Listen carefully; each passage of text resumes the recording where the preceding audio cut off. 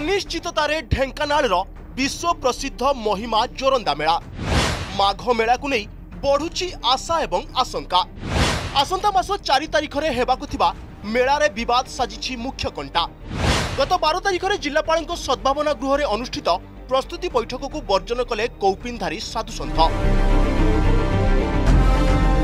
ଦୁଇ ଗୋଷ୍ଠୀ ସାଧୁସନ୍ଥଙ୍କ ମଧ୍ୟରେ ଦୀର୍ଘ ଦିନ ଧରି ଲାଗି ରହିଥିବା ବିବାଦର ସମାଧାନର ସୂତ୍ର ନ ବାହାରିବା ହେତୁ ଏବେ ଆଶା ଆଶଙ୍କାରେ ରହିଛି ବିଶ୍ୱ ପ୍ରସିଦ୍ଧ ଜୋରନ୍ଦା ମାଘ ମେଳା।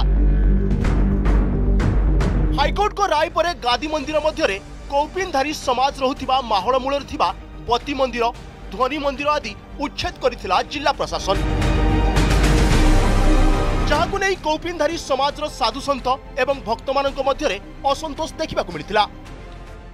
ସେ ଜାଗାରୁ ଯେତେବେଳେ ଆମକୁ ଉଚ୍ଛେଦ କରିଦିଆଯାଇଛି ଆମର ଦର୍ଶନ ଭୂମି ଉଚ୍ଛେଦ କରିଦିଆଯାଇଛି ଆମକୁ ଇଏ ବିକଳ୍ପ ଗୋଷ୍ଠୀ ବୋଲି ଇଏ କହୁଛନ୍ତି।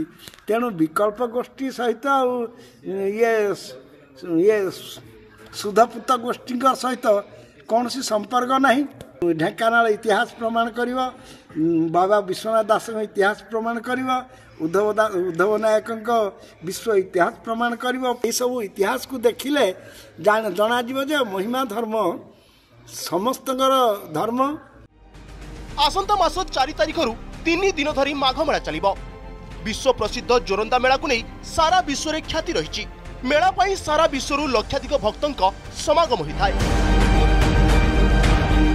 ଗତ ଦୁଇ ବର୍ଷ ହେବ କରୋନା ମହାମାରୀ ଥିବାରୁ କଟକଣା ଭିତରେ କେବଳ ରୀତିନୀତି ଅନୁସାରେ ପୂଜା ହୋଇଥିଲା।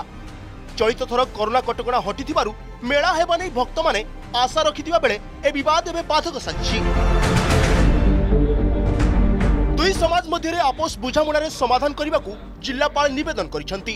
ଆଗାମୀ ଅଠର ତାରିଖରେ ପୁଣି ଉଭୟ ସମାଜକୁ ନେଇ ଏକ ବୈଠକ ଅନୁଷ୍ଠିତ ହେବ ବୋଲି ନିଷ୍ପତ୍ତି ନିଆଯାଇଛି।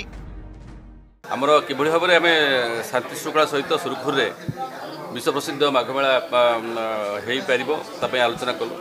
ବିଶେଷ କରି ଆମର ଆଇନ ଶୃଙ୍ଖଳା ସହିତ କିଭଳି ବ୍ୟାପକ ଭାବରେ ଆମର ପାନୀୟ ଜଳର ସମସ୍ୟା ଆପଣଙ୍କର ପରିମଳ ବ୍ୟବସ୍ଥା ଆଉ ଆଲୋକୀକରଣର ବ୍ୟବସ୍ଥା ପାର୍କିଂର ବ୍ୟବସ୍ଥା ଯାତ୍ରା ପାଇଁ ଯାତ୍ରା ଏବଂ ମେଳା ପାଇଁ ତାର ବ୍ୟବସ୍ଥା କିଭଳି ହୋଇପାରିବ ତାକୁ ମଧ୍ୟ କରାଗଲା।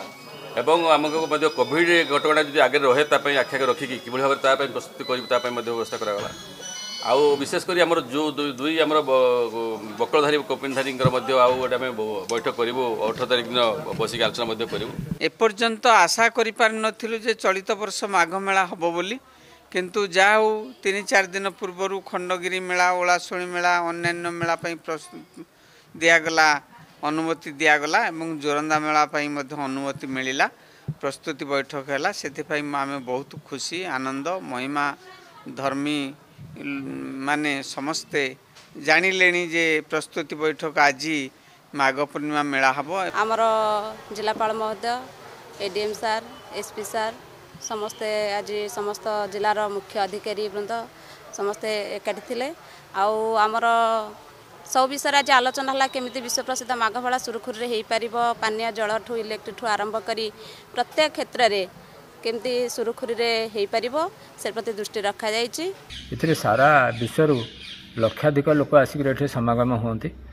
ମେଳା ଭଲ ଶାନ୍ତି ଶୃଙ୍ଖଳାରେ ହୋଇଥାଏ ଏବଂ ଏହି ମେଳାକୁ ଆମର ଧର୍ମ ହେଉଛି ଗୋଟିଏ କିନ୍ତୁ ଅନୁଷ୍ଠାନ ହେଉଛି ଯୋଡ଼ିଏ। ବକଳଧାରୀ ମହିମା ସମାଜ କୌପୁନୀଧାରୀ ମହିମା ସମାଜ। ଏଇ ତାଙ୍କର ଅଖଣ୍ଡବତୀ ଆଉ ଧୁନି ଏସବୁ ତାଙ୍କର ଉପାସନା ପୀଠମାନେ ଜାଳିକିରି ଜଗତ ଭଗବନ୍ତର ମଙ୍ଗଳ କାମନା କରନ୍ତି। ମାଘ ମେଳାକୁ ଆଉ ମାତ୍ର କେଇଟା ଦିନ ଥିବାବେଳେ ତୁରନ୍ତ ଦୁଇ ଗୋଷ୍ଠୀ ମଧ୍ୟରେ ଜିଲ୍ଲା ପ୍ରଶାସନ ବିବାଦର ସମାଧାନ କରନ୍ତୁ ବୋଲି ସାଧାରଣରେ ଦାବି ହୋଇଛି। ଯଦି ବିବାଦ ସମାଧାନ ନ ହୁଏ ଏବଂ ମେଳା ନ ହୁଏ ତେବେ ଏହା ମହିମା ପ୍ରେମୀ ଏବଂ ଭକ୍ତଙ୍କ ଭାବାବେଗକୁ ପ୍ରଭାବିତ କରିପାରେ। ଢେଙ୍କାନାଳରୁ କ୍ୟାମେରାମ୍ୟାନ୍ ସତ୍ୟଜିତ ସାହୁଙ୍କ ସହ ବିପ୍ଳବ ରାଉଳଙ୍କ ରିପୋର୍ଟ ଅର୍ଗସ୍ ନ୍ୟୁଜ୍।